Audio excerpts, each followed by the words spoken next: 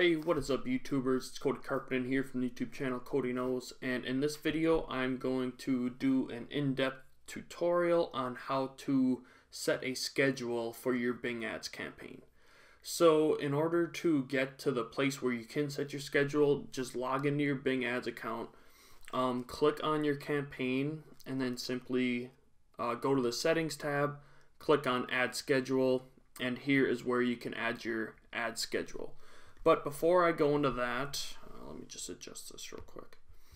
Um, before we get into that, I'm going to go over two reasons why you might want to um, use the Bing Ads ad scheduling option. So the first reason why is because um, some offers that you promote, especially lead gen offers, um, they have a time range where they only accept leads between a certain period of time. Um, let me just finish writing that out.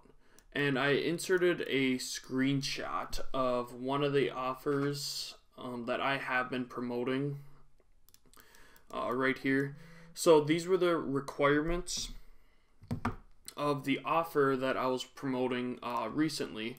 And as you can see, countries US only, restrictions, no GI mailers, no co-reg, no incent. Um, but perhaps the most important part is right here 6 a.m. to 6 p.m. Pacific Standard Time. So some offers, a lot of offers don't have um, this type of time range, but some offers they do only allow leads to be submitted within a time range. So that would be the first reason to use a Bing Ads ad scheduling option. And the second option, um, sometimes if you're running a campaign for a while and you start to get um, a lot of data coming in, especially if you're using a tracker like Voluum, you can see what time ranges are the most profitable and I'm going to give you an inside look at what that would look like. So I am inside one of my uh, Voluum campaigns right now. This is a Bing Ads campaign that I'm tracking with Voluum. And as you can see, today is uh, Tuesday. Um, and the conversions, four conversions so far today. But if I go, let's say, the last seven days, now I have a whole bunch of data on what days uh, converted the best, what days only got one sale, what days got the most, um, what days have the best earnings per visit, uh, the best earnings per click, etc. So the longer you run your campaigns, the more data you can get, and then the more informed your decisions can be when setting your ad schedule. So I've been running this campaign all throughout uh, 2020, so I can even go to this year.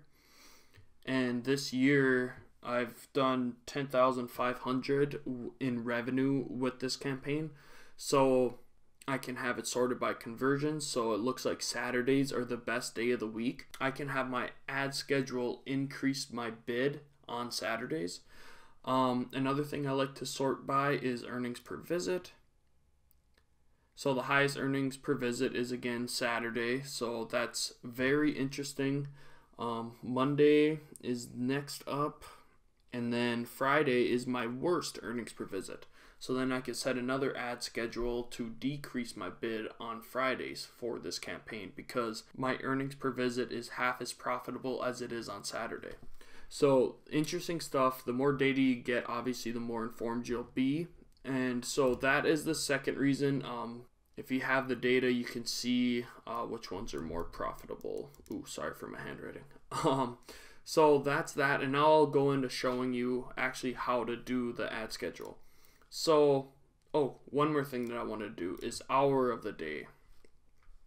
So this year, the most profitable hour of the day in terms of earnings per visit is from 9 a.m. to 10 a.m. So that's very interesting stuff. And then we can go down to the bottom and see all these times right here haven't had any conversions, so that'd be something to consider too. So this is 1 a.m., 2 a.m., 4 a.m., and then what is that like 11? No, 10 and 11. So very early in the morning and very late at night, I'm getting clicks, but I'm not getting conversions. So that's something to consider as well. So I just wanted to throw that in there. So this is um, where you do it. I already covered this. Settings, add schedule. And let's say, remember in my campaign, Fridays were not that profitable.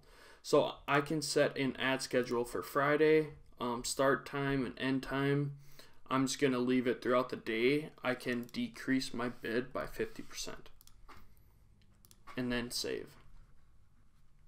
So there's my first ad schedule, and that's decreasing my bid on Friday, my least profitable day for uh, this campaign. Well, this is just a test campaign, it's not the actual campaign. But um, another thing that I could do is do all days. So you remember in here, um, day of the week for this year, Saturdays are the highest earnings per visit. I can simply come over here and add another. Oh crap. Um, I'm gonna go Saturday start and end time. I'm gonna leave it, and you can also um, have it sorted like this as well. But I'm I like doing it the 24 hour way. Um, I can increase my bid by let's say 50%. So that will give me the best positioning possible. It'll increase my bid by 50% and then I'll rank higher for keywords because Saturdays are the days where my campaign has been doing really good. So that'd be something to consider. And then when we went over the hour of the day, um, how 11 at night or like 10 at night to like 4 in the morning, I was getting a bunch of clicks but no conversions this is something that we could do for that. So we could do all days, start time. Let's go 22. Okay, I can't do it that way. So I can go from, so this is like midnight right here and end time 4 in the morning. I can decrease the bid by 90%. So then I won't be wasting my budget on the 12 a.m., 1 a.m., 2 a.m., 3 a.m., 4 a.m. clicks that I've been getting throughout the year with no conversions so I could save that. But then I'd also want to come in and go like this. Oops. So I could add another one, um, all days, and then get that. Um, okay, so that'd be 11 to 12. I could go from 22 to 24. I could also decrease by 90. Save so then you can see this is how it'll start to look once you start to uh, zone in on your most profitable times. So I hope you got a good understanding of how you can set up your ad schedule with Bing Ads to have your ads being shown during the most profitable time ranges that you've uh, you've discovered throughout collecting data. So that is it for this video. If you are not subscribed to my YouTube channel yet, smack that subscribe button and that notification bell to stay up to date with all my future videos, and I will see you in the next one. Peace.